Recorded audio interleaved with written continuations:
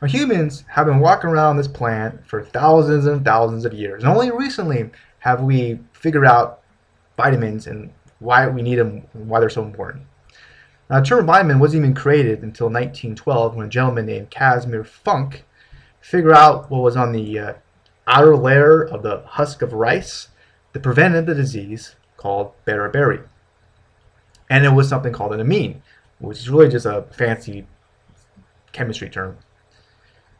He then took Mr. Lind's finding about scurvy in 1747 about how there was something in oranges and limes that prevented the disease and basically realized that these things were vital for life and added the vit to the amine.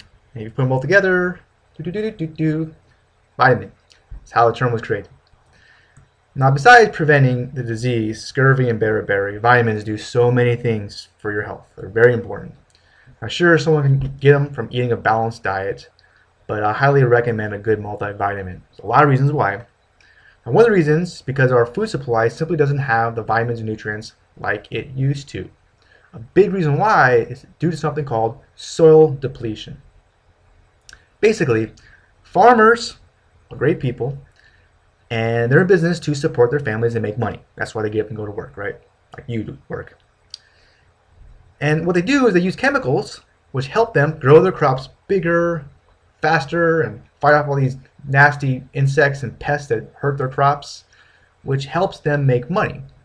But there's a downside. Downside is it actually depletes the crops of vitamins and minerals. That's one of the reasons why we're we, our food doesn't have the vitamins like it used to.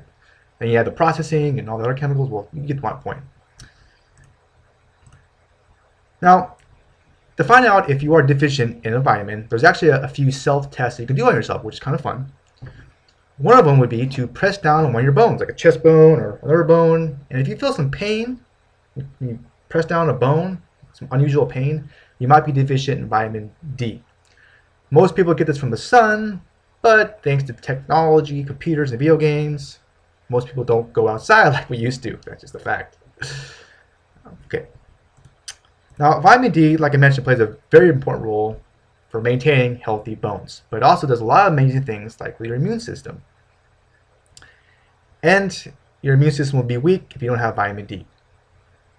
Lastly, deficiency can increase the odds of getting cancer, heart failure, diabetes, muscle weakness, gum problems. yeah, don't be deficient in it. The next test you can do is close your eyes, stand up, and like put one leg out, like balancing it. Try to balance it yourself on one leg. If you find yourself losing balance in a few seconds, it might mean you're deficient in vitamin B12, which has everything to do with the neurological system and your balance. It also plays a very key role in keeping your immune system strong, so you need this one. Uh, next vitamin to talk about is something called B6, which helps keep blood pressure levels normal.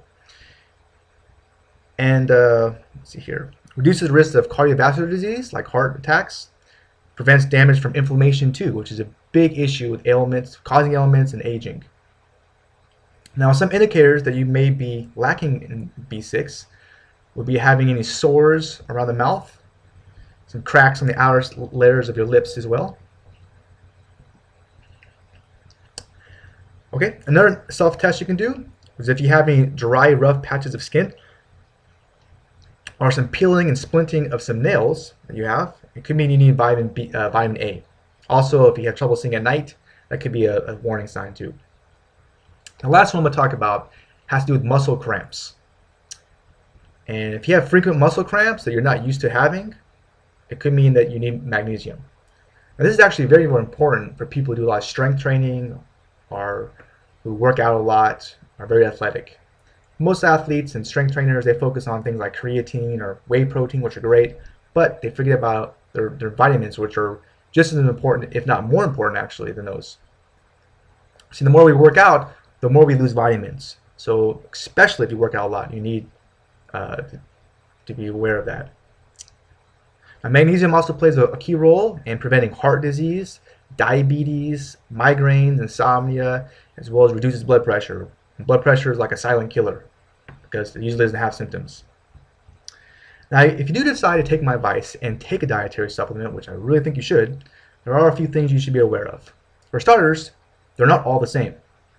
And nobody ensures these products are safe before they hit the store shelves and people buy them, believe it or not. Sure, we have government agencies, but they actually, majority of them, think that it's up to companies to uh, ensure the product is safe and make sure they're honest. Which to me is like telling two sports teams, hey, we don't need a referee, just make sure you're honest and things will be great and lovely and rainbows and unicorns will pop out. Which doesn't make a lot of sense to me, but they don't have the resources really. And the sad truth is, is that many supplements in the marketplace have problems. To give you an example of this, the prestigious Consumer Labs in 2013 did tests on many of the popular top-selling supplements out there all over the world. And what they found was very shocking. Around 40% of them, almost half, had some type of problems. This problem could have been contaminations, that were that could harm people, and also mislabeling, meaning they they advertised that you're going to get something, but uh, it wasn't there. Didn't contain the ingredients advertised. Now, to best protect yourself and your loved ones, I highly recommend you view a free report that I created all about shopping for dietary supplements. This report will explain how someone can identify a good supplement brand and what are some signs to look for in a product that is more riskier choice and some warning uh, red flags and warning signs that you may not be aware of, which can definitely help you. It also goes over a lot of herbal remedies, simplifies them, talks about some herbs that are very dangerous that you may not be aware of.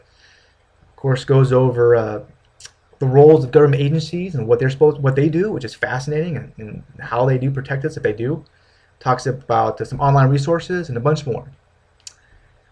Now, here's the thing. Uh, due to the demand of this information, which there is a demand, and the supply is, you know, it's not that there's no real supply. I've, I've, Googled all these topics, and it's hard for me to find this kind of information out there on the internet. I could easily sell this report, but I did decide to make it free. And uh, so take advantage of it.